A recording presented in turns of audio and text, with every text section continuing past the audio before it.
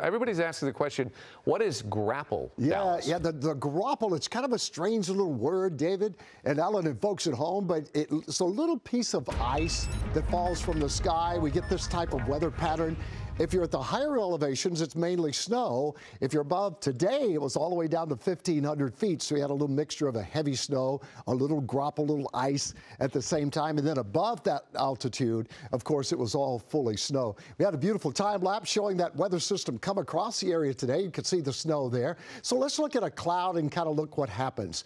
In the colder parts of the cloud that are in, say, the upper 20s, it's all little snowflakes. And then in the cloud where the temperatures are very close to freezing, freezing or slightly below. Then a little ice gathers around the snowflake and freezes and becomes what we call graupel. So it's little tiny ice particles.